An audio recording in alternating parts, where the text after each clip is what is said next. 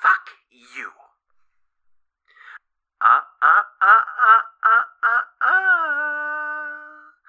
Don't give and then take it away. It's my freedom to sprinkle whatever I want on my food.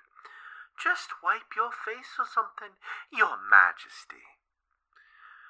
What? What do you mean? Is that so? That's interesting.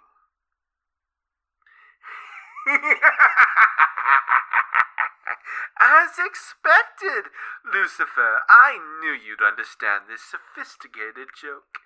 I can tell you some more if you want. Are you drunk already?